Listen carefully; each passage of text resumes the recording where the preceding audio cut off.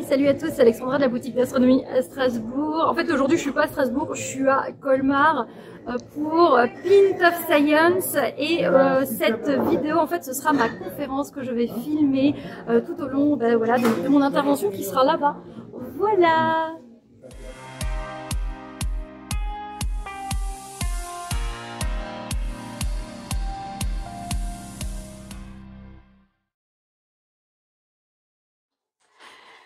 Donc on va pouvoir démarrer avec un petit peu de retard, avec vos excuses. Donc bienvenue euh, à vous tous à cette euh, soirée euh, de du Festival de vulgarisation scientifique Paint of Science, donc pour la troisième édition à Colmar.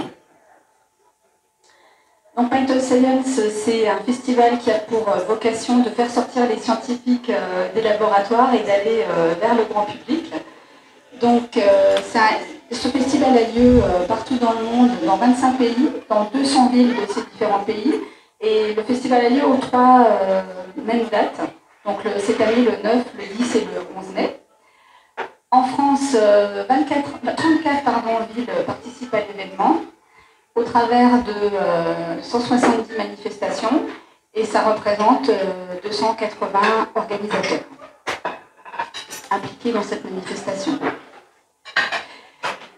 Donc pour cette année, euh, on tient à remercier les différents partenaires de la manifestation. INRAE, où on a fait une présentation hier soir, et Nastros ce soir avec Alexandra Ergot, et demain euh, l'IGBMC.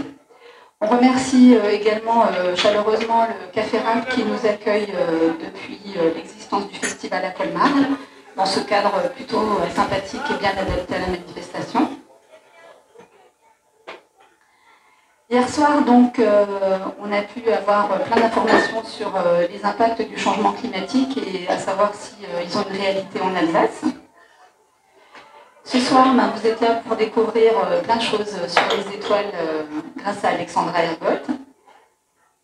Et demain soir, on aura une soirée consacrée aux allergies. Donc, pourquoi on est allergique? Comment ça, comment ça fonctionne en fait les allergies? Voilà, donc en trois petites lignes, je vais vous présenter donc euh, notre intervenante de la soirée. Donc Alexandra Ergot est passionnée d'astronomie depuis son plus jeune âge. Elle a fait de sa passion son métier il y a dix ans dans la vulgarisation scientifique après des années d'études à l'Observatoire de Paris. Elle se déplace dans toute l'Alsace, ordinateur sous le bras, comme on a pu le voir, afin de refamiliariser petits et grands au ciel étoilé. En plus d'être membre de plusieurs associations d'astronomie, elle a ouvert en 2018 une boutique d'astronomie à Strasbourg, où elle vend du matériel d'observation, comme des télescopes, entre autres. Et elle a également réalisé un support de télescope pour les personnes à mobilité réduite en 2019 et propose des voyages dans l'espace en réalité virtuelle depuis 2014 avec des scénarios faits maison. Tout un programme. Donc pour débuter la soirée, comme euh, hier pour les gens qui étaient là hier, on va vous proposer un petit quiz, donc avec euh, une dizaine de questions qu'on fera dérouler ensemble. Et euh, à la fin de la soirée, les personnes qui auront le mieux répondu gagneront des petits cadeaux Paint of Science. Donc un t-shirt, le t-shirt 2022, un sac en toile avec Barnet, la mascotte de la manifestation, un petit carnet notes ou des décapsuleurs. Donc mes collègues vont vous distribuer euh, les, quiz et éventuellement des stylos. Si vous avez besoin d'un stylo, euh, n'hésitez pas à vous manifester. On peut le faire défiler, hein. on va faire défiler les, questions euh, tous ensemble, vous laisser un peu de temps pour répondre à chaque question. Est-ce que tout le monde a son papier? Ok. Alors, la première question, Laquelle de ces trois constellations n'appartient pas au ciel boréal? Proposition A, la grande ours.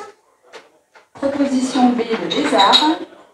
Proposition C, la mouche. Donc vous avez bien noté que parfois il peut y avoir une ou plusieurs, euh, un ou plusieurs choix. Ah bon? Chez moi? Pas obligatoirement. Pas obligatoirement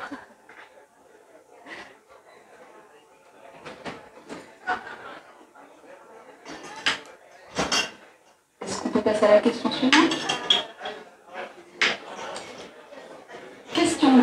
Combien y a-t-il de planètes dans le système solaire? Ah, la question Proposition A, 8 planètes. B, 9 planètes. C, 12 planètes.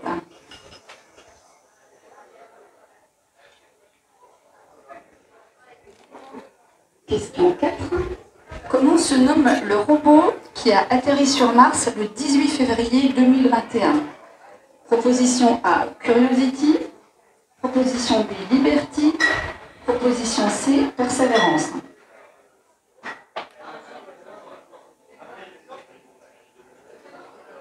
On passe à la question 5. En quelle année aura lieu la prochaine apparition de la comète de Halley En 2024 En 2061 En 2216 En 2472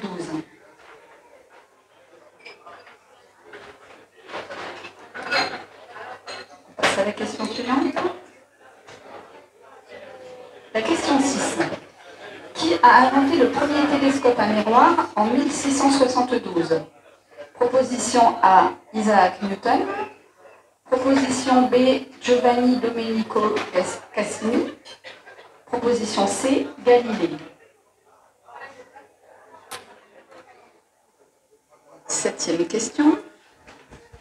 En quelle année fut lancée la sonde Voyageur 1 En 1975 En 1977 en 1979 ou en 1981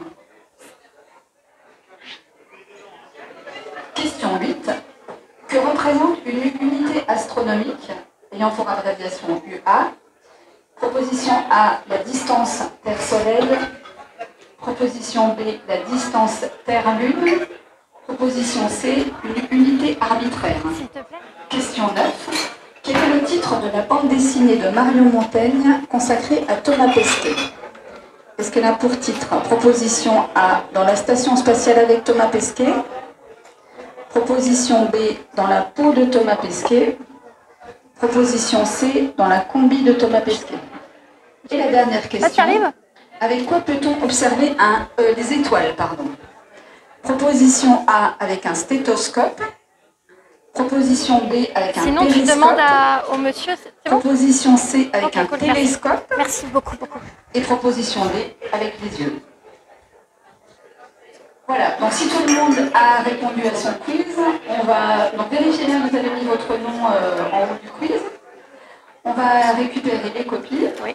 Et on va passer, je vais passer la parole à Alexandra et on va switcher sur le logiciel. Donc si vous souhaitez commander encore, vous pouvez profiter euh, de la petite transition euh, pour passer vos commandes. Et puis les serveurs vous amèneront à table ce que vous souhaitez consommer. Merci. On est bon? Tout le monde a, tout le monde a ce qu'il faut pour boire Avec modération, bien sûr. Quoique, on est en Alsace. hein. Une bonne bière ne fait jamais de mal. On est bon pour tout le monde? Bonsoir à toutes et à tous. Merci d'être là ce soir, ça me fait extrêmement plaisir. Euh, surtout à Colmar, ça me rappelle euh, quand j'étais au, lycée, euh, je passais tout le temps par ici, ça m'a rappelé des souvenirs il y a pas mal d'années. Alors euh, j'espère que vous avez bien répondu aux questions. Il y avait des questions un petit peu pièges hein, quand même. hein. J'espère que ça n'a pas été trop dur pour vous. Alors en astronomie, vous vous doutez bien qu'en une demi-heure, je ne peux pas parler de tout l'univers. C'est impossible. Il est trop grand. Alors bien sûr, je dois écourter ma, ma présentation aujourd'hui. Parce que sinon, je pourrais parler pendant euh, des heures et au final, on en aurait pour toute la nuit. Quoique je voyais les nuages, donc finalement, les observations n'auraient pas été favorables. Alors, est-ce que tout le monde voit sur l'écran, on est bon Oui? Bon, je vous ai projeté en fait euh, le ciel en, temps réel, un logiciel qui est dans mon ordinateur et c'est pour ça qu'il a eu du mal à se connecter en fait avec le vidéoprojecteur. J'ai pu me localiser à Colmar. Nous sommes bien aujourd'hui le 10 mai. Il est 19h37 déjà? Oh. Et donc moi je vais rester en fait au niveau de mon ordinateur. Vous voyez que c'est moi en fait qui le fait bouger avec la souris. En fait c'est une caméra hein, qui est mise dans un champ. Voilà. Et s'il n'y avait pas de nuages en fait, eh ben c'est ce que nous verrions en temps réel dans le ciel. Mon objectif aujourd'hui, en une petite demi-heure, c'est que, pas ce soir parce qu'il fait moche, mais ce week-end quand il va faire beau, eh ben vous puissiez, vous puissiez sortir en famille, en amoureux, que vous ayez le, ciel étoilé au-dessus de votre tête et vous puissiez reconnaître, dire ça c'est la grande ours, ça c'est Cassiopée, ça c'est machin, ça c'est et puis il y a plein de choses à, ce, à cet endroit-là. Alors, euh, moi c'est bien joli, donc ben, on voit le, soleil euh, qui est en train de se coucher. On voyait autre chose euh, dans le ciel Ah, qu'est-ce qu'on voit? Facile, c'est marqué. Hein. À la Lune, notre seul satellite naturel alors, elle est en quartier, et si jamais, pour information, vous pouvez le noter, il y a une éclipse lunaire lundi matin. Voilà. Je pense que les, euh, journaux n'en ont pas encore parlé. Bah, elle est très tôt, en fait, elle est à 4 heures. 4 heures du matin, lundi matin, avant d'aller au travail. Et en plus, elle est en coucher de lune, ça veut dire qu'il faut avoir un horizon sud-ouest. moi, je vais monter au Grand Ballon, sur la route des Crêtes, pour avoir l'horizon sur la Lorraine, pour avoir la lune qui se couche éclipsée. Donc bah, ça me fera un petit peu de route, mais le, coin là-bas est très très très joli. Et donc bah, n'hésitez pas si jamais lundi matin euh, vous avez euh, envie de regarder l'éclipse lunaire, voilà, à 4 heures. Alors moi c'est bien joli, mais euh, je voudrais voir les, étoiles. Bon finalement à part le soleil, bien sûr, qui est une étoile qui est en train de se coucher, moi je ne vois pas les autres. Alors le logiciel est assez bien fait. Si jamais vous voulez le nom, c'est Stellarium. Je peux avancer dans le temps. Donc on va avancer dans le temps. Pas trop vite, pas trop vite, Alexandra. Ah, c'est pas mal. J'ai quoi 23h47, ça, vous n'êtes pas encore au lit. Et voici, ça va Tout le monde arrive à voir? Oui? Alors, il y a pas mal d'étoiles. Vous savez qu'en reliant les étoiles entre elles, elles forment des, personnages et des animaux. Dans le ciel, on appelle ça des constellations. Vous en connaissez peut-être? Ne faites pas vos timides, hein, levez le doigt. Je vous... Oui? La grande ours, mais oui vous, la casserole. Alors en fait, la casserole, c'est une partie de la grande ours. La, constellation de la grande ours est beaucoup plus grande. La casserole, en fait, ce, ce sont ses fesses. Ah oui, ah oui. En fait, c'est la queue de la grande ours et son estomac. Il y a encore les pattes avant, il y a les pattes arrière. Vous arrivez à la voir d'ici? Oui? Elle est où? Elle est, euh, elle est là? Non? Elle est là? Ah, elle est là Ah, je vois qu'il y a certains effectivement qui connaissent. C'est la seule que vous connaissez, c'est déjà. Alors c'est un excellent repère. Hein. Moi, c'est avec celle-là que j'ai commencé. Hein, voilà. Hein. Donc en fait, ici, on a la queue de la grande ours. Ça, c'est son estomac.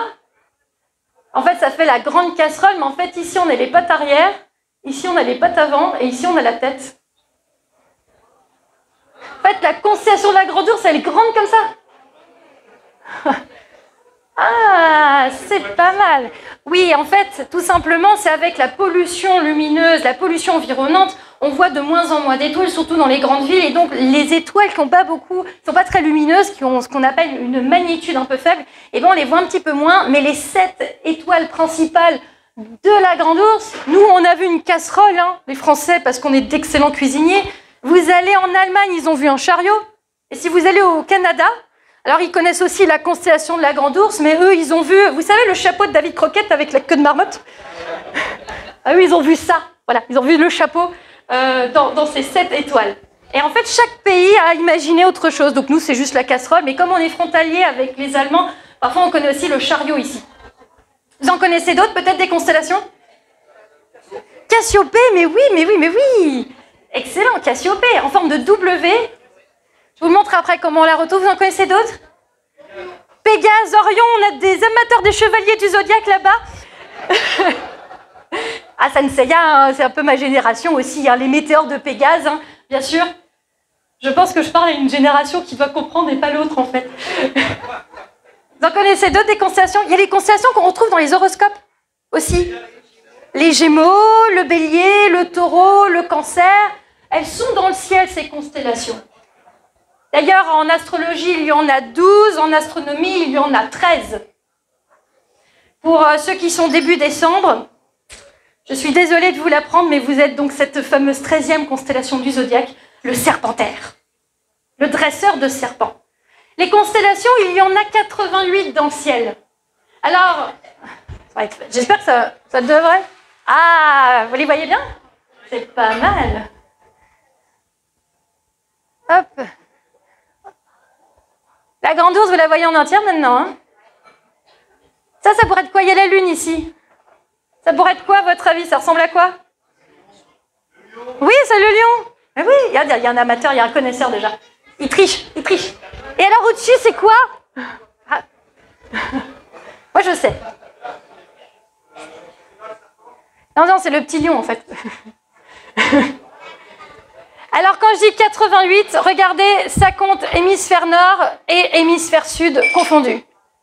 En fait, tout le ciel est rempli de constellations.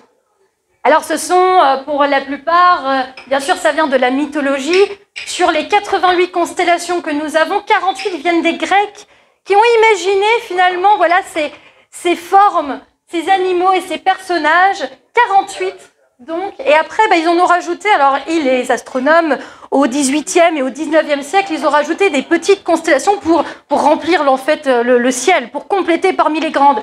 C'est comme ça qu'on se retrouve avec des petites curiosités, pardon, des curiosités. Alors, je vous les affiche. Moi, il y en a une que j'aime bien. Où est-ce qu'elle est?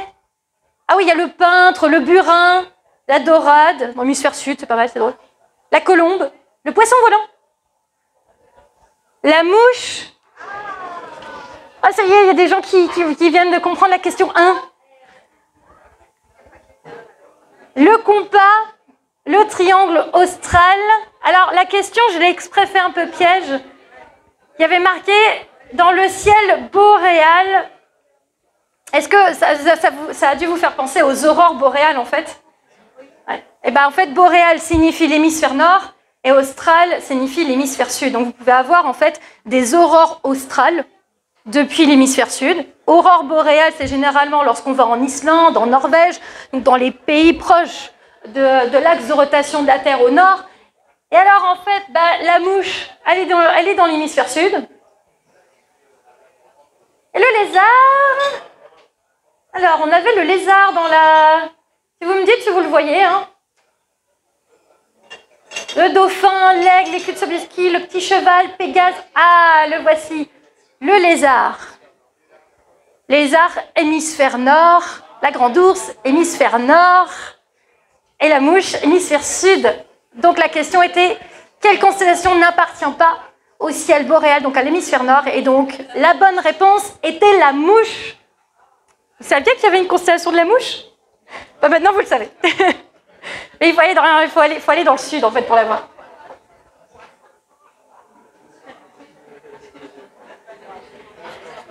Alors après, sachez que toutes les civilisations, en fait, ont imaginé plein de choses. Si on regarde les constellations des Coréens, c'est beaucoup, beaucoup, en fait, intuit. C'est vraiment sur la guerre. C'est plein, plein, plein, plein de toutes petites constellations qui sont très ciblées euh, sur des attaques, des, des tactiques de guerre. C'est assez sympa. Et après, on retrouve parfois le caribou. J'ai vu aussi, c'est pas mal pour les Inuits. Euh, il y a des choses un petit peu plus glauques, mais ça va, il n'y a pas d'enfants ce soir. Euh, j'ai déjà vu l'estomac de baleine, la constellation de l'estomac de baleine.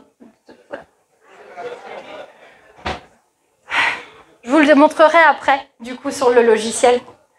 J'ai oublié, parce qu'en fait, le logiciel est bien, hein, on peut vraiment choisir. C'est vrai que j'ai pas l'écran. Je peux avoir toutes les cultures, en fait. Voilà.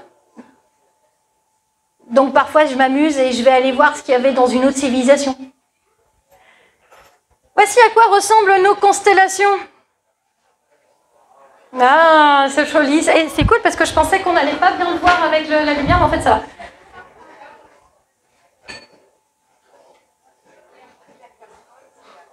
Voilà, vous le voyez maintenant, la casserole. En partant de la célèbre constellation de la Grande Ourse, on peut, en fait, on peut retrouver une étoile un petit peu particulière. Je vous le mets comme ça, parce que pour moi, ça va m'arranger. Je vais faire avec le laser. Donc là, ici, on a la Grande Ourse. Donc certains l'ont repérée facilement. En fait, elle a aussi ce gros avantage. On la voit toute l'année, hein, ici, depuis, euh, depuis Colmar. Et alors, euh, il y a différentes manières pour retrouver une étoile particulière, l'étoile polaire. Alors, ce n'est pas une étoile extrêmement lumineuse, ce n'est pas du tout l'étoile du berger. L'étoile du berger, c'est la planète Vénus. C'est une énorme erreur. Tout le monde fait l'amalgame. Vénus, deuxième planète du système solaire. D'ailleurs, j'en profite, je réponds à la deuxième question. Il y a huit planètes. Je suis désolée pour ceux qui ont mis neuf. Ah oui, quelqu'un qui est étonné. Je vous montrerai après, elles sont visibles le matin avant le lever du soleil. En fait, Pluton a été déclassé en 2006. Donc euh, ça commence un petit peu à, dater. Alors euh, j'ai entendu dire cette semaine, apparemment, les Américains, une énième fois, ils veulent à nouveau que Pluton soit une planète. Non, non, mais c'est déjà bien qu'on l'accepte en tant que planète naine, parce que Pluton, en fait, c'est un astéroïde de la ceinture de Kuiper. Et euh, en fait, enfin, je comprends même pas pourquoi c'est une planète. Une planète naine. Du coup, il y a cinq planètes naines, il y a huit planètes. Je vous demande pas d'apprendre les planètes naines par cœur, bien sûr. Pour revenir du coup à notre constellation, je vous enlève les tracés, là, c'est trop simple comme ça. Ah, c'est un peu plus compliqué. Moi, j'adorerais pouvoir appuyer sur un bouton comme ça et que dans le ciel, en temps réel, vous savez, en vrai, il y a toutes les constellations comme ça qui s'affichent. Alors malheureusement, en fait, avec Starlink, c'est peut-être ce qui arrivera un jour. Starlink, ce sont les satellites qui sont envoyés par Elon Musk, hein, bien sûr. Lorsque vous avez repéré, on va quand même reprendre notre casserole. Alors, quand j'étais petite, on me disait qu'il fallait prendre deux étoiles et tirer un trait dans un certain sens. J'avoue que je me suis toujours un peu, euh, un peu foirée là-dessus. Pour ceux qui aiment bien cette technique et qui la connaissent, ce sont les deux étoiles qui sont à l'extrémité de la casserole ici. Et cinq fois, effectivement, alors cinq fois, on est dans l'espace, donc ça fait. Donc là, il y a une distance. 1, 2, 3, 4, 5. Et celle-ci, c'est étoile polaire. Moi, j'aime bien. Il y avait euh, Florence Porcel, il y a quelques années, qui est une youtubeuse. Dans une de ses vidéos, elle avait utilisé la casserole et on fait bouillir de l'eau. Pour les enfants, c'est génial parce qu'ils ont déjà vu, du coup, l'eau bouillir dans la casserole pour faire des pâtes. Et il y a de la vapeur d'eau, en fait, qui s'échappe de la casserole. En fait, on tombe sur, on voit ces deux étoiles qui est accompagnée, celle-ci, d'un doublé, c'est les yeux de la petite ours. Et celle-ci qui est toute seule, c'est l'étoile polaire. En fait, la, casserole, vous allez voir finalement que si on centre... Non, c'était pas Starlink là que je voulais cibler. Le logiciel m'a ciblé en satellite. Vous avez vu? Ils sont partout. Et ça va vite, hein 44 000 satellites il veut envoyer dans le ciel. 44 000 pour faire vraiment pour englober la Terre. Et ah, voyez, regardez, il y en a un autre. Il y en a partout. Et ça, c'est que le début. Il n'y en a que 3000 pour le moment dans le ciel. Il veut créer une grille tout autour de la Terre pour, proposer la 5G gratuite partout dans le monde. Bon. Moi, j'attends de voir. Qu'est-ce qui se passe au cours de la nuit Si j'avance, je fais tourner la Terre sur elle-même, on voit que la grande ours tourne autour de l'étoile polaire. En fait, toutes les étoiles ici, bah forcément, c'est parce qu'il y a... Ça doit être l'ISS qui passe hein, en, en, vite. C'est parce qu'il y a l'axe de rotation de la Terre. L'étoile polaire, en fait, elle est proche de l'axe de rotation de la Terre. Donc, elle fait un tout petit cercle, en fait, autour de l'axe de rotation de la Terre. Mais en fait, elle est tellement proche qu'on a l'impression qu'elle ne bouge pas. C'est une étoile qui vous indiquera d'ailleurs toujours le nord. Si vous trouvez l'étoile polaire et qu'elle est là, là il y a le nord, derrière vous avez le sud, à droite vous avez l'est, et à gauche vous avez l'ouest. Très bon moyen pour ne pas se perdre. Vous avez vu qu'on est en journée, hein, je vous l'ai mis en accéléré, j'ai enlevé l'atmosphère. Ça va, ça va pas trop vite? Si, un petit peu. Hein. Qu'est-ce qui se passe si on voyage un petit peu dans le temps? Ah, imaginons, on a ce pouvoir de pouvoir voyager, mais très loin dans le temps. Imaginons, je rajoute, je ne sais pas, moi par exemple, je mets un 9. Ah waouh. Et où est-ce que je suis? Hop. Allez, tu veux bien te supprimer? J'ai perdu l'étoile polaire. Elle est passée sous l'horizon? Mais oui L'étoile polaire, elle est là. Et ça, c'est l'axe de rotation de la Terre. Tout simplement parce que les étoiles que l'on observe depuis la Terre, elles font partie d'un immense ensemble qu'on appelle la galaxie. Imaginez un aquarium qui contient des milliards de petits poissons. L'aquarium, bah, c'est la galaxie, et les petits poissons intérieurs, ce sont les étoiles. Et les étoiles, dans la, enfin les poissons dans l'aquarium, ils bougent. Et ben les étoiles dans la galaxie bougent. Et là, vous avez déjà des mouvements qui se sont faits les étoiles, donc les constellations telles qu'on les connaît actuellement, ne ressembleraient peut-être plus à ce qu'on connaît actuellement. Voilà, en 92 022. Bon, ça va, enfin, je veux dire, moi j'aurai le temps. euh, je pense que d'ici là, je serai plus là. Je sais pas pourquoi il veut pas me l'enlever, je vais l'enlever comme ça. Voilà. Alors, elle est où maintenant, ma grande ours? Ah, bah, elle est là. Vous la voyez? La casserole? Ah, bah là, les deux étoiles, par contre, euh, c'est pas dans le bon sens hein, pour, aller chercher l'étoile polaire. Puis d'ailleurs, de toute façon, l'axe de rotation est par ici. Donc actuellement, les constellations... Eh, c'est super mignon, il y en a une en forme de cœur. Oh, j'avais pas vu. Oh, je vais envoyer ça à mon copain et tout, il va, il va trouver ça trop mignon.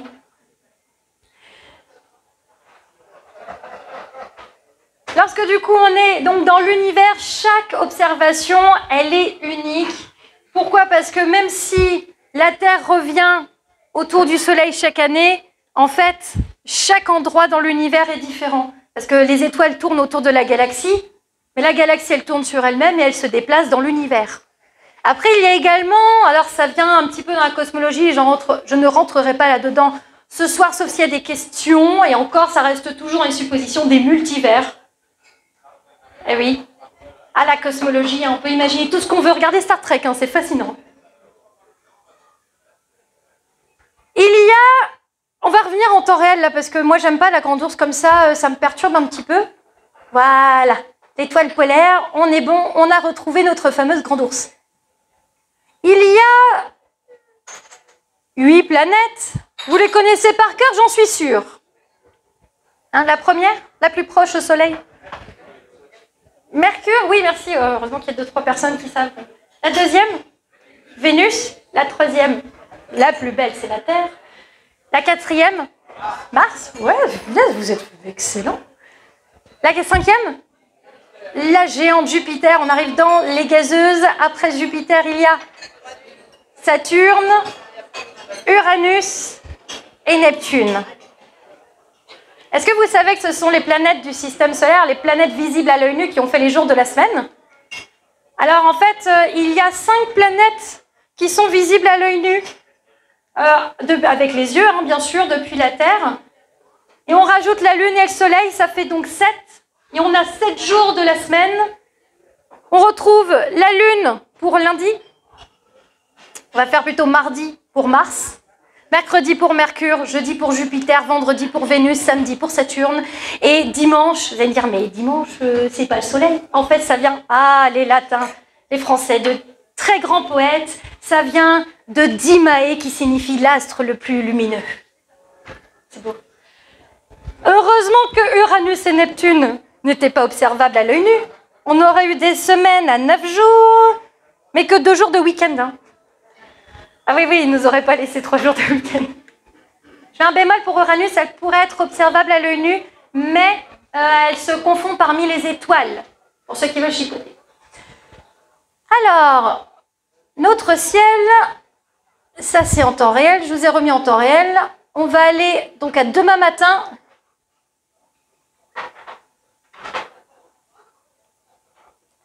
Pardon, j'en profite, je termine juste, j'ai oublié pour Cassiopée, parce qu'avant quelqu'un m'a cité Cassiopée. En fait, quand on a retrouvé la grande ours avec l'étoile polaire, Cassiopée, en fait, elle est de l'autre côté. C'est le W ici. Voilà. Très jolie constellation, c'est la reine d'Éthiopie. S'il y a son mari ici, il y a Céphée. Ils ont Andromède qui, passe sous l'horizon, qui a été délivré par Persée, qui a tué la Gorgogne, et ils se sont enfuis sur le cheval volant Pégase. Hop. Alors, demain matin, je vais aller à l'est.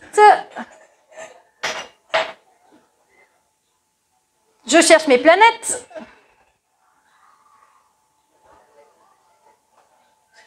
La première à apparaître, c'est facile, elle est notée. Les voici. Alors oui, elles sont alignées. C'est normal, elles sont toutes sur l'écliptique. L'écliptique, c'est la ligne imaginaire sur laquelle on a la course du Soleil. Et comme dans le système solaire, ben, on a le Soleil au centre. Merci Galilée, hein, d'ailleurs, on le sait. hein. Dire qu'il y a des gens qui pensent que la Terre est encore au centre de l'univers et que la Terre est plate. Bonté divine. Le Soleil est au centre. Les planètes tournent autour du Soleil. Elles sont toutes sur à peu près un même axe, comme un peu une pizza sur laquelle on dispose des olives. Comme la Terre est sur approximativement l'écliptique, et forcément, bah, toutes les planètes sont également alignées. Moi, j'ai vu passer des infos ces derniers jours sur les réseaux sociaux unique, regardez, des planètes alignées, euh, ça ne se reproduira pas avant 36 milliards d'années, c'est tous les ans, hein, en fait, on a des planètes alignées comme ça. J'adore, les, c'est les médias à clic comme ça. Et en tout cas, donc, si jamais vous avez les planètes du matin, alors Vénus qui sera plus basse, qui est donc le troisième astre le plus lumineux dans le ciel après le Soleil et la Lune, donc elle est immanquable. En ce moment, on a Jupiter, Mars et Saturne qui sont... À quelle heure? 4h42. Eh bien, ça tombe bien, lundi, s'il y a l'éclipse, vous en profiterez pour regarder les planètes du matin. Alors, elles ne sont pas visibles toute l'année le matin, puisque au fur et à mesure on va avancer dans le mois, la Terre va tourner bien sûr autour du Soleil, et elles vont être visibles. Alors, je ne sais pas si en faisant comme ça, on va avancer d'un jour. On a la Mars qui rattrape Jupiter. Alors forcément, on se rapproche du 21 juin, donc les nuits sont de plus en plus courtes. Donc là, un petit peu, hein, si vous voulez vraiment avoir le lever du soleil, vous allez vers 4 heures. Voilà. Vous voyez que Saturne sera observable de plus en plus tôt, puisqu'à partir de même 3 heures, 1 heure du matin, ça va. Temps de faire la bringue, et au fur et à mesure, en fait, elles seront visibles de plus en plus tôt pour l'été. Donc cet été, quand vous allez être sur la période de la nuit des étoiles, le 12 août, eh ben vous pourrez observer en début de soirée plein plein de choses. Saturne, Jupiter et Mars se lèvera un petit peu plus tard. Toujours bien sûr sur le sud, la même direction que le Soleil. Je n'ai pas besoin de vous rappeler que le Soleil se lève à l'est, passe au sud et se couche à l'ouest, bien sûr. Donc vous n'aurez jamais des planètes au nord, c'est pas possible. Toujours au sud. Alors elles sont situées en fait sur la ligne imaginaire, on, retrouve nos fameuses constellations du zodiaque. Les poissons, le verso, le capricorne. Alors moi, je ne fais pas d'astrologie, hein, j'y crois pas. Je fais de l'astronomie. J'observe la position, bien sûr, des planètes et des astres dans les constellations. Ce n'est seulement pour moi qu'un moyen de repère. Pour moi, il n'y a aucune incidence sur ma vie. C'est moi qui décide, pas les planètes.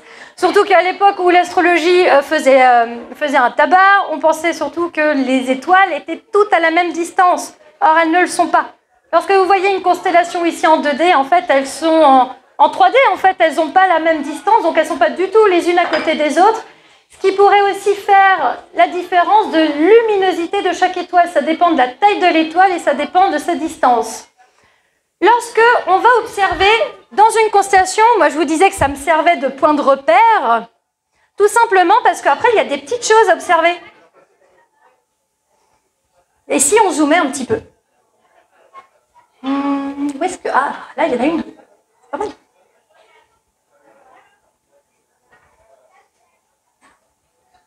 Alors malheureusement au télescope, euh, on ne voit pas la couleur, mais on voit une euh, espèce de nuage grisonnant, très joli. Est-ce que quelqu'un sait ce que c'est? Non, j'entends rien, non, personne ne sait On appelle ça une nébuleuse. On retrouve ça dans les livres, c'est très coloré, c'est magnifique. D'habitude, je m'inspire des nébuleuses pour faire mes cheveux, mais là, c'est un petit peu dégorgé, alors j'ai plus beaucoup de roses, comme celle-ci. La nébuleuse de la Lagune, répertoriée par Charles Messier au numéro 8, c'est donc M8. En fait, vous voyez, il y en a une autre au-dessus en plus d'ailleurs. La nébuleuse du trèfle. Celle-ci est jolie. Vous allez me dire, mais Alexandra, mais qu'est-ce que c'est exactement? Eh bien, les étoiles, elles ont une durée de vie, pas toujours la même, parfois quelques millions d'années, parfois quelques milliards d'années. Le Soleil aurait approximativement 4, 5, selon les livres que je lis, en ce moment ils sont en train de changer, ils disent que c'est 5 milliards d'années, notre petit Soleil. Ah, il est si jeune. il aurait encore 4 milliards d'années à vivre. Mais toutes les étoiles n'ont pas le même âge. Et les étoiles, en fait, lorsqu'elles vont naître, déjà, elles vont pas avoir euh, la même couleur. Là, on est dans l'évolution stellaire. Une étoile qui est jeune et de couleur bleue, elle est extrêmement chaude. C'est du gaz, hein. c'est la fusion nucléaire. Je vous l'épargne aussi, ça. Si jamais il y a des super reportages euh, Cosmos euh, sur Internet, YouTube, Netflix, Disque, Découverte, National Geographic, ils ont des super reportages là-dessus. Alors, lorsqu'une étoile est très jeune, elle est extrêmement chaude, elle fait quand même 20 000 degrés en surface extérieure. Et lorsque l'étoile va commencer à faire sa fusion nucléaire, à utiliser son carburant, donc son hydrogène pour créer de l'hélium, eh ben, elle va commencer à refroidir. En refroidissant, elle va changer de couleur. Elle va passer du bleu au blanc. Elle a quasiment fait déjà la moitié de sa vie. Par exemple, le Soleil, il est blanc en fait. Il fait approximativement 5800 euh, degrés alors, on n'est pas allé euh, calculer la température du Soleil avec un thermomètre, hein, bien sûr. On fait ça avec de la spectroscopie. C'est une discipline particulière de l'astronomie. On va aller étudier les longueurs d'onde, le spectre de lumière de chaque étoile pour après définir la composition et également approximativement évaluer une température. Donc 5800 degrés, on n'est pas au degré près, hein, n'est-ce pas? Et là, l'étoile va encore refroidir, elle va encore changer de couleur, elle va passer du blanc au jaune, puis au orange, Une étoile rouge est une étoile froide, c'est une étoile, c'est une vieille étoile. Elle fait plus que 3000 degrés en surface extérieure. je dis surface extérieure parce qu'au niveau du noyau, on est en millions de degrés. Hein. Je vous déconseille de vouloir vous faire un petit bronzage euh, là-bas. Ça se décentre. Vous avez vu comme ça bouge? En fait, c'est la Terre hein, qui tourne. Hein. En fait, j'ai pas arrêté, donc je suis toujours en, les secondes passent, donc on voit le mouvement de rotation de la Terre. Et lorsque l'étoile, en fait, au final, à la fin de sa vie, n'a plus de carburant, ne peut plus faire de fusion nucléaire, et eh bien soit, selon la masse, elle implose, soit elle peut exploser. Et en plus, ça ne devient pas forcément une nébuleuse. Lorsqu'elle explose, ça peut devenir des trous noirs.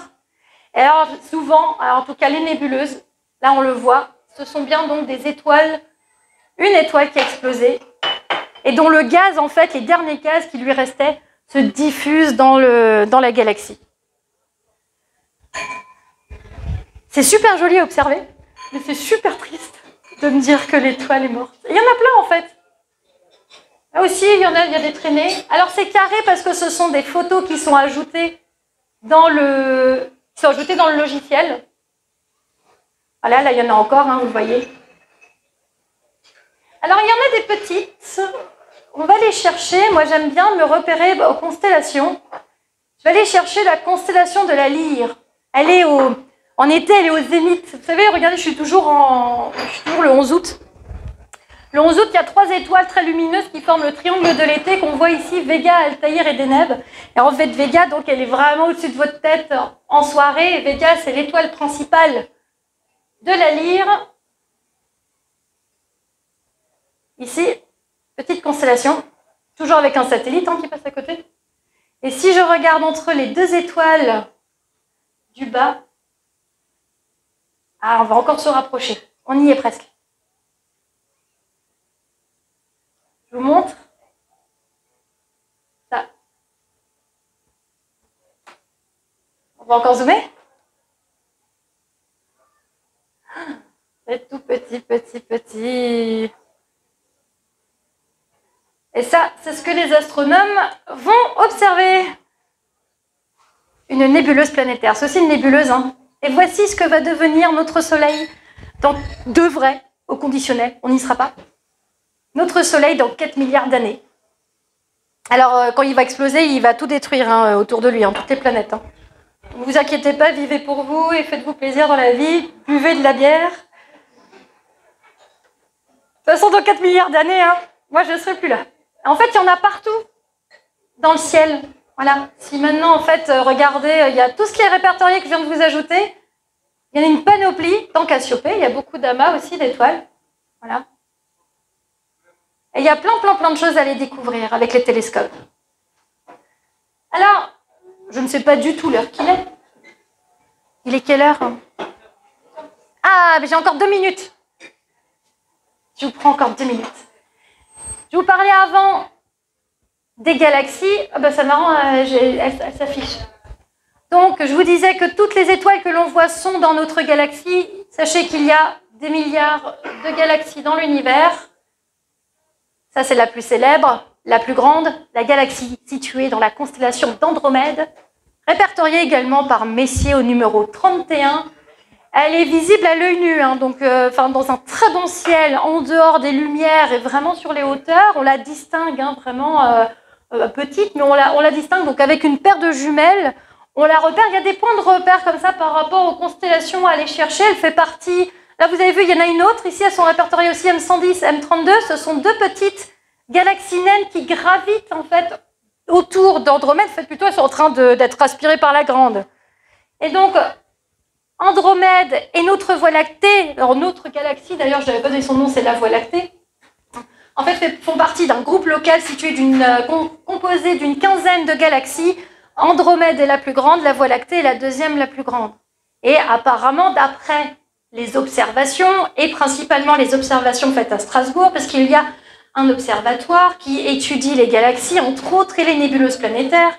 Les galaxies, les deux galaxies sont en train de se rapprocher, et dans des millions d'années, eh ben, elles vont fusionner ensemble pour ne faire plus qu'une seule grande galaxie. Alors en fait, les distances entre les étoiles sont tellement immenses qu'en fait, les étoiles vont pas se rencontrer pour, euh, pour se, en fait, pour se fracturer entre elles. Tout va fusionner et c'est tellement immense. Alors au niveau des distances, d'ailleurs, il y avait une question de distance aussi dans la question, la, la distance, l'unité astronomique. Vous saviez, j'en suis sûre, j'ai pas besoin de vous le dire. C'est la distance Soleil-Terre qui correspond à 150 millions de kilomètres. Je crois que c'était dans la question en fait. Environ. Environ, parce que c'est variable. Et alors, l'unité astronomique ici, elle n'est pas assez grande pour en fait définir la taille des galaxies. On va parler en années-lumière. Je pense que vous avez aussi, vous avez déjà entendu parler de ça. Si on avait la possibilité de voyager à la vitesse de la lumière, soit de parcourir en une seule seconde 300 000 km, il nous faudrait une seconde pour aller sur la Lune, ça, serait cool, 8 minutes pour aller au Soleil, mais pour des distances aussi grandes, il nous faudrait des millions d'années pour atteindre les différents astres qui sont en dehors de la galaxie, tellement c'est loin. Et ça, c'est que notre univers. Alors imaginez s'il y avait des multivers. Oh, ça serait génial. Je crois qu'il y a plein de films. Vous avez vu, hein, ça c'est toujours les Starlink. Hein, voilà, ils sont partout. Hein. Alors, je répondrai pas à toutes les questions euh, qui sont sur. Euh, vous pourrez me les poser après. Parce que, en fait, euh, bah, je vous avais dit que je ne pouvais pas parler de tout en une demi-heure, que je dépasse les minutes. Juste pour la question sur le robot qui a atterri sur Mars. Est-ce que quelqu'un savait Est-ce que quelqu'un a vu son atterrissage? C'était un truc de dingue. Hein. Moi, j'ai pleuré, en fait, quand j'ai vu ça. C'est persévérance. Euh, Liberty, j'ai galéré à trouver un nom, en fait. Hein. C'est moi qui ai trouvé le nom à la rage. J'ai fait, qu'est-ce que je vais? Curiosity, c'était celui de 2012. On avait eu en fait Sojourner en 97. Il y a eu après euh, euh, le deuxième, c'est. Vous voyez, il m'échappe. Curiosité en 2012, Persévérance et. Ah, il m'en manque un Je l'ai quelque part dans une de mes cases là-dedans. En 2002. Après, il y a eu aussi pas mal de sondes envoyées pour euh, étudier tout ce qui est sismographique au niveau de Mars. Euh, après, au niveau des autres sondes, euh, Voyager, c'est la question Voyager, en fait, mais moi, je savais pas la, réponse. J'aurais dit 77. C'était quoi, quoi la bonne réponse? 75 61 71 77 Oh, si c'est 77, le nez est bon. Hein. Ouh. On dira, on dira. Et deuxième chose, j'ai également mis une info parce qu'en fait, pour moi, c'était important. En fait, vous avez vu donc, en fait, la galaxie est remplie de millions d'étoiles. Chaque galaxie, et il y en a des milliards, contient des millions, voire milliards d'étoiles. Autant vous dire que le Soleil est tout ridicule parmi cette immensité. Mais on le sait, autour du Soleil, il y a donc des planètes, des astéroïdes, plein de comètes, il y a plein de choses. Et il y a également autour d'autres étoiles, en fait, il y a des exoplanètes. Depuis 1995, on le sait, dans Pégasi 51, ils ont découvert la première exoplanète, donc une, planète qui tourne autour d'une autre étoile, dans Pégase. Et depuis, depuis deux mois, en fait, il a été validé 5000 exoplanètes. Il y en a encore à peu près 10 000 en attente de validation. Donc c'était 5000 exoplanètes officiellement. Alors ça a dû encore un petit peu monter. Donc on vient de passer la barre des 5000. Donc c'est un tout petit peu plus maintenant, depuis mars. Et les derniers télescopes, donc le James Webb qui vient d'être envoyé dans l'espace, nous sort déjà d'exceptionnelles photos. Là on commence à peine à avoir les, photos de base avec euh, des, enfin c'est de la dinguerie, qui va aller effectivement photographier ces exoplanètes, toujours dans la galaxie. Hein. On n'est pas encore, on n'est pas encore sorti des autres galaxies. Enfin, on n'est pas encore allé voir ailleurs. On est juste encore chez nous. Et après, derrière, on a également le EELT, je finis sur ça, le Extremely Large Telescope au Chili.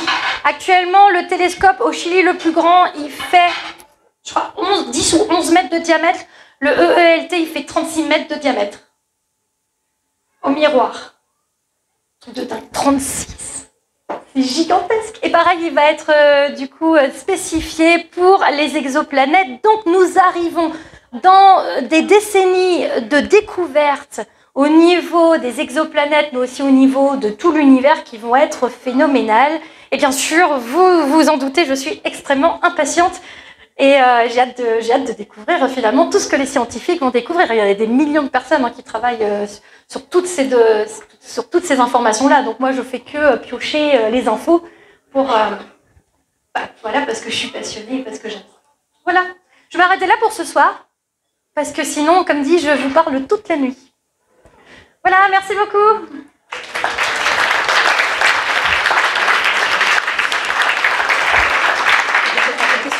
Ah oui, oui, oui. On va prendre quelques questions. Si vous avez des questions, n'hésitez pas, c'est l'occasion. Une spécialiste passionnée, passionnante. S'il n'y a pas de questions, c'est que tout était clair. Hein. Stellarium. Alors, Stella comme le prénom qui signifie étoile, Erium comme planétarium. Stellarium avec deux L. Et euh, il est disponible sur euh, l'ordinateur et il est disponible sur euh, les téléphones, mais il est payant sur, sur téléphone. Et je ne sais plus s'il est payant sur l'ordinateur. Je crois qu'il y a une version gratuite qui est, qui est basique et une version payante qui est un petit peu plus complète. Et c'est le logiciel qu'utilisent en fait les planétariums de la langue française. Donc les planétariums de France utilisent maintenant ce logiciel qui, est fait par, des passionnés, hein, qui existe depuis 2005, 2004-2005, qui est extraordinaire, et que moi j'utilise effectivement dans le cadre de mes projections, mais également moi à titre personnel lorsque je vais faire des soirées d'observation. Quand moi je vais rechercher un astre, j'ai toujours mon livre, mais le logiciel en fait vient compléter aussi euh, les informations.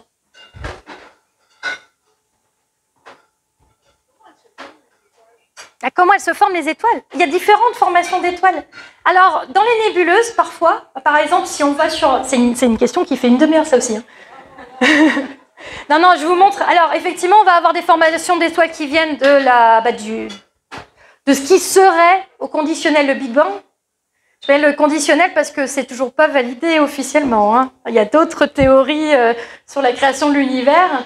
Alors effectivement, on va avoir des étoiles qui ont 13 milliards d'années. Par contre, il y en a d'autres. Et on va retrouver dans certaines nébuleuses des pouponnières d'étoiles. Je cherche la constellation d'Orion, qui est une constellation visible en hiver, Alexandra, donc on ne la voit pas. En août. Février, c'est pas mal. Février, on la voit. Février, c'est l'hiver. La voici facilement repérable, entouré de quatre, de trois, il y a trois étoiles alignées entourées de quatre grosses. Et ici, en fait, vous avez la plus belle, la plus spectaculaire, la plus incroyable de toutes les nébuleuses observables. Elle est juste magnifique. Et en fait, dans cette nébuleuse, il y a des étoiles en formation. On appelle ça du coup des pouponnières d'étoiles. En fait, pourquoi? Parce que les gaz vont encore entre eux se structurer pour former de nouvelles étoiles. Donc toutes les étoiles ne se sont pas formées, en fait, elles n'ont pas le même âge. Donc certaines étoiles, en fait, se naissent encore. Et alors, finalement, pour juste encore répondre à cette question, parce qu'elle est très intéressante, le Soleil n'est pas la première étoile, en fait, au lieu où on est dans la galaxie. C'est la troisième. Puisqu'il y a eu avant le Soleil une autre étoile qui a. Enfin, il y en a eu deux. Je ne sais pas comment ils ont fait pour la deuxième, en tout cas, la, la, première, mais la deuxième, on le sait euh, spécifiquement. C'était un jour en soirée astro, on m'a dit qu'il y en avait eu deux. Donc euh, moi, je sais que pour une. En fait, il se trouve que lorsque l'étoile, elle est euh, donc elle grandit, hein, elle naît, elle va grandir, elle va vieillir. À la fin de sa vie, pour essayer en fait de faire en sorte que la fusion nucléaire continue, elle va créer des éléments chimiques comme l'oxygène, le carbone, l'azote euh, euh, ou, le fer, des éléments chimiques qu'on connaît bien sur Terre, mais qui n'auraient pas été sur Terre si elles n'avaient pas été, pas été créés par la mort d'une étoile précédemment avant le Soleil. Ça veut dire qu'avant le Soleil, il y a une autre étoile qui a fait toute sa vie, qui a fini par exploser. Et dans l'explosion, donc dans la nébuleuse de cette étoile, serait né le Soleil, dans une pouponnière d'étoiles. Et grâce, en fait, finalement, avec tous les fragments qu'il y avait autour, toutes les roches, les débris cosmiques qu'il y avait autour, ça a formé les planètes, avec le système de centrifuge. Et on retrouve finalement les éléments chimiques qui ont été créés à la mort de l'ancienne étoile, on les retrouve sur les planètes et sur Terre.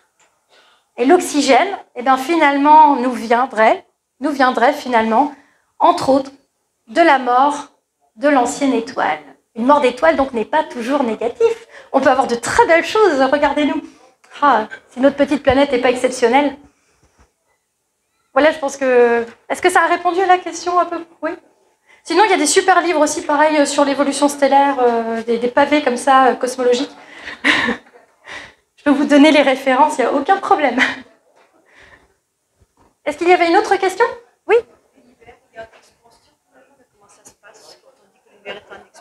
Ah, comment ça se passe quand l'univers, on dit qu'il est en expansion?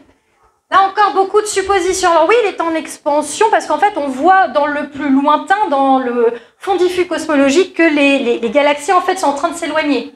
En fait, le problème, c'est qu'on ne voit pas tout de l'univers. On ne voit qu'une toute petite partie. Et certains, en fait, n'imaginent pas. Alors déjà, juste imaginer l'infini selon moi, pour un être humain, est juste impossible parce que en fait, tout ce qu'on a autour de nous a une structure en fait définie et physique, et en fait, donc il faut à chaque fois nous mettre des limites. Imaginez qu'il y a l'expansion de l'univers, juste l'immensité de l'univers qui ne s'arrête jamais. À un moment donné, en fait, je pense qu'on devient dingue parce qu'on a besoin en fait de lui mettre une limite. Et certaines théories annonceraient qu'en fait, ce soit pas fini. En fait, c'est sphérique. Ou alors, c'est en forme de donut saison 10, euh, épisode 21 des Simpsons. Quand Homer est au bar chez moi avec Stephen Hawking, exceptionnel ce passage, et qui Homer dit à Stephen Hawking qu'il pense que l'univers est en forme de donuts. J'en ai, ai frisson tellement je trouve ça trop chouette parce qu'à l'époque c'était génial, c'était fait partie des, théories en fait des années 80 et dont de Stephen Hawking sur euh, avec bien sûr les données de la, de la relativité générale de Einstein. Mais après spécifiquement en fait on n'a aucune info là-dessus en fait, c'est c'est pas sûr que c'est en expansion en fait parce qu'on les voit s'éloigner, mais on ne sait pas vers où elles vont s'éloigner. Donc, est-ce qu'elles vont effectivement s'éloigner sur le lointain? Mais vers quoi? Vers rien. C'est le rien déjà est quelque chose. Ou alors, beaucoup de scientifiques imaginent en fait des boucles, en fait complètement continues et donc sphérique. Et finalement, la sphère, c'est ce qu'on retrouve beaucoup dans l'univers, ces formes, voilà. Après, pas complètement sphérique, mais plutôt patatoïde, un peu, voilà. Et alors, la, topologie de l'univers, il y a aussi des scientifiques qui travaillent là-dessus, hein. la forme de l'univers. Mais effectivement, en fait, ce qu'on observe plutôt, c'est l'éloignement de tout ça. Oui? Ah oui, le Big Pas plus qu'il y a encore quelques années. Encore une fois, une belle supposition. Il euh, n'y a pas plus d'infos, mais j'avoue que je ne me suis pas forcément penchée dessus euh, ces derniers temps. Ouais. Ben après, euh, c'est encore une fois, ben, est-ce qu'on les observe vraiment? C'est toujours, en fait, y a, dans le domaine de la cosmologie, ce n'est c'est vraiment c'est 90% de supposition tant qu'on ne l'a pas découvert effectivement, en fait, à partir de ce moment-là, oui, les déchirures, on peut imaginer, mais en fait, comment, machin. Et derrière, par partir de cette, de cette supposition, il faut faire plein de calculs mathématiques, mais à partir du moment où on ne sait même pas, où on ne l'a pas observé, c'est compliqué après, derrière, de dire si ça existe vraiment. Oui, ça peut, comme ça ne peut pas.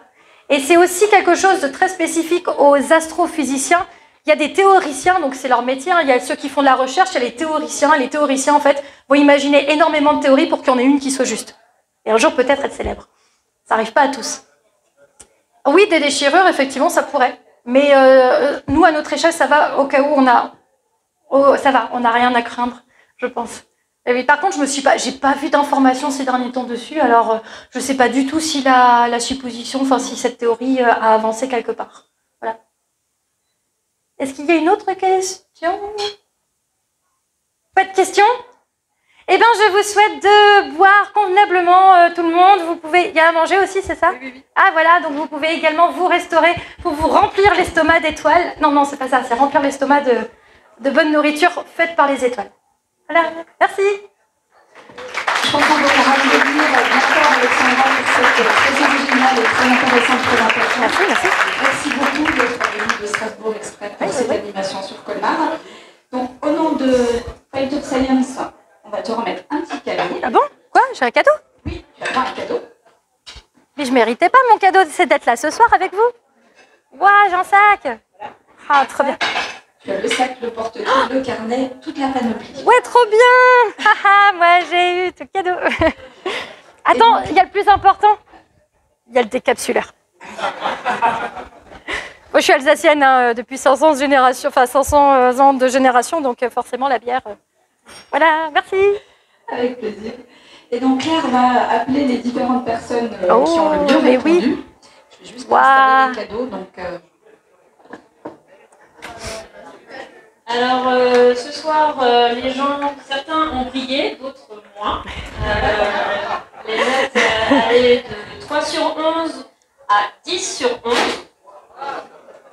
Donc, euh, ils sont deux. Je vais les appeler en même temps parce qu'ils ex aequo. Donc, on a euh, Guillaume Barnabé et Sylvain Witz. Félicitations à eux. Donc, euh, vous avez le choix des cadeaux. C'est quoi les erreurs? Ils ont fait l'erreur où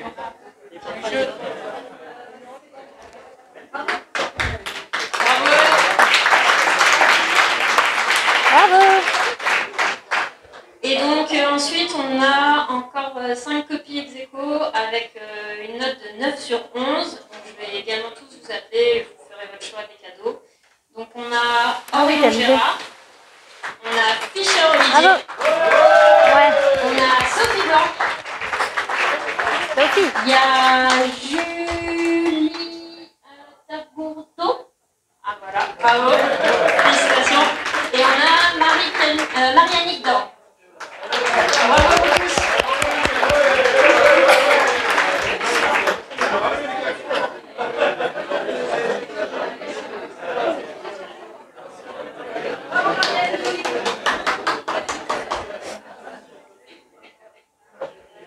Moi, je dis bravo aussi à ceux qui ont eu que trois réponses justes, hein. franchement. hein. Bah non, il n'y a pas de cadeau pour ça, apparemment. Donc corser un petit peu le questionnaire, on avait euh, ajouté aux questions proposées par Alexandra quelques questions du quiz officiel euh, de Fight of Science. Donc juste euh, à titre d'information, je vais vous donner quand même les bonnes réponses. Donc les quatre premières questions ont été proposées par Alexandra et donc elle vous a répondu dans sa présentation. Donc la- le prochain passage de la comète de Halley, donc ce sera en 2061. Donc certains parmi vous auront la chance d'y être. euh, mais voilà. Ouais, L'inventeur du premier télescope en 1672, c'était Isaac Newton. Mais attends, je peux, est-ce que je, je me permets parce que certains ont entouré Galilée. En fait, Galilée, il a fait importer une lunette astronomique des Pays-Bas. Il l'a pas du tout inventé, et c'était une lunette, donc un système de lentilles. Et en fait, il a, il a pas inventé. Il a juste eu la bonne idée d'observer les étoiles, en fait, tout simplement avec la lunette qui venait des Pays-Bas. Et c'est Isaac Newton, effectivement, qui, euh, 50, 70 ans après, a imaginé un système beaucoup plus large et moins contraignant que la lentille avec le système de miroir. Merci. Voilà. Merci Alexandra pour cette précision. Ensuite, donc, euh, en quelle année fut lancée donc, la sonde Voyager 1 C'était 1977. Oh Oh le nez L'unité astronomique, euh, tu nous l'avais dit, c'était Oui. donc la distance Terre-Soleil. La bande dessinée, euh, dessinée par Marion Montaigne, c'est dans la combi de, de Thomas Pesquet. Et on observe les étoiles avec un télescope et avec les yeux. Oui, Voilà, un grand merci encore, bravo à tout le monde. Donc, Bravo. vous donne rendez- Merci surtout Alexandra pour la présentation. Et on vous donne rendez-vous demain euh, pour la troisième soirée euh, du festival qui sera consacrée aux allergies. Bonne soirée à tous, bonne fin de soirée, puisque la soirée est encore euh, ouais, bravo terminée. Merci je fais tout de suite la fin parce que je sais qu'après ma conférence, on va avoir une tonne de questions et je vais pas forcément y penser. Je vous remercie d'avoir regardé ma vidéo. N'hésitez pas à vous abonner. N'hésitez pas également à me suivre sur les réseaux sociaux. Il y a le Enastros sur Facebook et euh, sur Instagram, euh, Alex Enastros, enastros.fr. Salut